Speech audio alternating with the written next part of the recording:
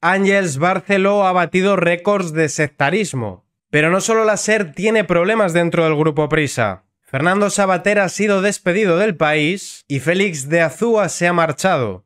Y realmente todo el grupo Prisa está en graves problemas, como veremos al final. Pero empezaremos por Ángels Barceló, comparando lo que decía el 13 de septiembre con lo que decía el 30 de octubre y con lo que está diciendo hoy, porque ha dado un giro de 360 grados.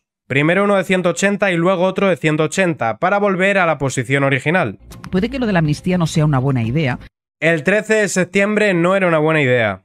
Lo importante es que este camino que quiere empezar a recorrer en favor de la convivencia, importantísimo en Cataluña y en el resto de España, el 30 de septiembre no mintió, cambió de opinión. Ahora sí que era una buena idea. Ángels Barceló esperando a que le lleguen las instrucciones de la Moncloa con el guion que tiene que decir mañana en la SER. Y como os decía, el giro ha sido de 360 grados. Volvemos a que la amnistía no era una buena idea. Cualquiera diría que las opiniones de Ángels Barceló van modificándose en función de los intereses del PSOE, pero eso no sería propio de una periodista tan imparcial y rigurosa como ella, ¿verdad?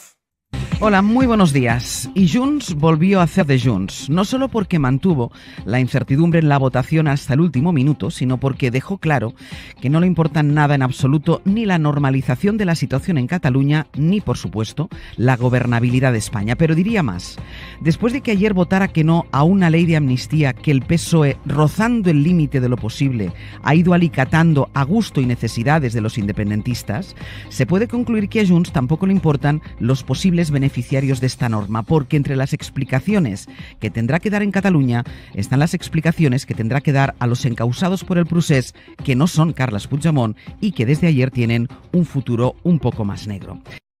Vaya, o sea que los independentistas no eran de fiar, no me digas. ¿Quién se hubiese dado cuenta aparte de todo el mundo menos vosotros? Pero llama la atención que hasta Óscar Puente reconociese que la amnistía era porque le interesaba al PSOE y que Ángels Barceló lo niegue y que diga que es por la convivencia. Es más papista que el Papa. Yo lo he dicho claramente. Cuando se me pregunta si no hubierais necesitado esto para la investidura, ¿lo hubierais adoptado?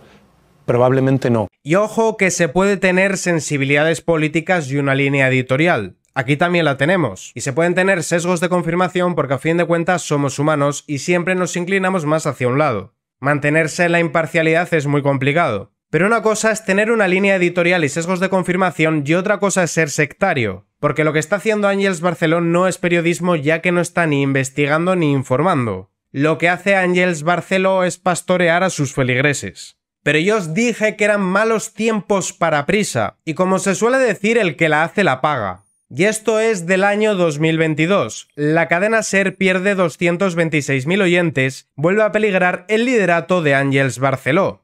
En ese mismo periodo, Carlos Alsina ganó 126.000 oyentes, para que tengáis una referencia para comparar. Y diréis, bueno, es que en el año 2022 tampoco pasaron tantas cosas, a lo mejor en campaña la cosa remontó. Pues ni siquiera en campaña, cuando todo el país estaba pendiente de la actualidad política. Todas las radios pierden oyentes a menos de un mes de las elecciones. Y si bien aquí Ángels Barceló todavía mantenía el liderato, volvió a perder 87.000 oyentes. Parece ser que hasta los socialistas se harten de que les tomen por idiotas. Ahora bien, una cosa os puedo garantizar. Cuando se vuelva a llevar la ley de amnistía a votación, que se volverá a llevar, después de haber vuelto a negociar con Junts, que se volverá a negociar, Ángels Barceló volverá a dar un giro de 180 grados para decir que Junts es un partido súper progresista, que todo esto es para frenar a la derecha y que es necesario para la convivencia. Ahí ya no será para salvarle el culo al prófugo Puigdemont ni porque el PSOE sea capaz de cargarse todo el Estado de Derecho con tal de mantenerse en el poder. Lo que haga falta con tal de que el PSOE siga mandando los dineros, que a eso volveremos después. Pero antes toca hablar de lo país, porque si a Prisa le va mal en la radio, tampoco le va mucho mejor en la prensa escrita. El país fulmina a Fernando Sabater por sus opiniones tras 47 años de colaboraciones. El despido ha llegado apenas unas horas después de que se publicara la conversación de El Mundo, en el que éste haya criticado que el país se haya convertido en un medio gubernamental abiertamente. Insisto que a eso volveremos después, porque yo tengo memoria y me acuerdo de Polanco que no sé si descansará en paz o en guerra reuniéndose con Zapatero. No penséis que lo del grupo Prisa con el PSOE es algo nuevo. Pero por lo menos antes intentaban mantener ciertas apariencias y de vez en cuando le caía alguna crítica al PSOE. Ahora se han convertido en el enésimo altavoz, como si no fuese suficiente con Radio Televisión Española. Tenemos el presidente más guapo del mundo, que habla muy bien el inglés, que todo el mundo le quiere mucho y que ha puesto a España entre las primeras potencias a nivel internacional. Por contra, la oposición son todos unos fascistas. Y es más, está bien acabar con los derechos, las libertades o con la ley porque supuestamente la oposición va a acabar con los derechos, las libertades y la ley. Eso es el grupo Prisa a día de hoy. Pepa Bueno ha dado la puntilla a uno de sus trabajadores más longevos. Esta misma tarde la directora del país ha despedido personalmente a Fernando Sabater. ¿Y qué es lo que había dicho Fernando Sabater? El periódico ha cambiado mucho de haber sido un periódico crítico plural a convertirse en un medio gubernamental abiertamente. En este momento Sabater reconocía que los cambios del medio van parejos con los suyos propios. Me da un poco de miedo criticar las tonterías de nadie, porque yo he creído en otras semejantes. Y el detonante no ha sido otro que la amnistía. Porque al igual que Ángels Barceló, la amnistía ha sido criticada o defendida a conveniencia de los intereses del PSOE. Y es que no sorprende tampoco, porque el propio PSOE decía estar en contra de la amnistía para acto seguido, cuando necesitaron los votos de Junts, empezar a decir que era para la convivencia catalana. Como este gobierno respeta y defiende la Constitución, no va a haber ni amnistía. Y Félix de Azúa ha seguido los pasos de Sabater. Félix de Azúa explica su marcha del país. El diario está en manos de radicales y autoritarios. Félix de Azúa atribuye su salida del país a la deriva que ha tomado el periódico que, a su juicio, lo deja en manos de grupos extraordinariamente radicales muy autoritarios. El barcelonés explica que su marcha tiene una justificación marxista, pero de Groucho Marx, ya que no quiere pertenecer a un club que no deja entrar a uno de sus mejores amigos en referencia a Fernando Sabater. El catedrático no se corta en sus críticas hacia aquellos que no soportaron que Fernando Sabater expresara una opinión que no era del gusto de la empresa, ni de Zapatero, y seguramente del grupo, secuestrado por feministas radicales que mantienen un régimen del terror dentro de la redacción. Azúa dispara contra la complacencia del país con el gobierno de Sánchez al considerar que el periódico está arrodillado ante un presidente que no admite en absoluto la menor oposición. Por último, Azúa aclara que continuará expresándose libremente. Y al igual que veíamos que Ángels Barceló no hace sino perder oyentes, el país no hace sino perder lectores. Y luego viene la parte divertida porque veremos las cuentas del grupo Prisa en su conjunto, y la noticia es de hoy. Me ha venido que ni pintada. Marca el país y As, los más perjudicados de la caída generalizada de lectores en papel. Y es que los españoles podremos ser a veces un poco bobos, pero no tontos, y no nos gusta que por tontos nos tomen. Ahora la noticia de hoy. Prisa emitirá otros 100 millones en bonos convertibles para seguir reduciendo deuda. El grupo recurre a otro aumento del capital ante el creciente gasto en intereses. El Consejo de Administración de Prisa, la empresa dueña de la SER y el país, ha aprobado una nueva emisión de bonos convertibles por 100 millones de euros para continuar reduciendo su deuda y los intereses que conlleva. El grupo emitió también en febrero de 2023 instrumentos de este tipo por 130 millones de euros. La acción de Prisa se ha desplomado en torno a un 25% en los últimos seis meses, con una acuciada caída en noviembre que no le ha permitido remontar ni con las compras de títulos realizada por su máximo accionista. ¿Y a cuánto se eleva la deuda de Prisa?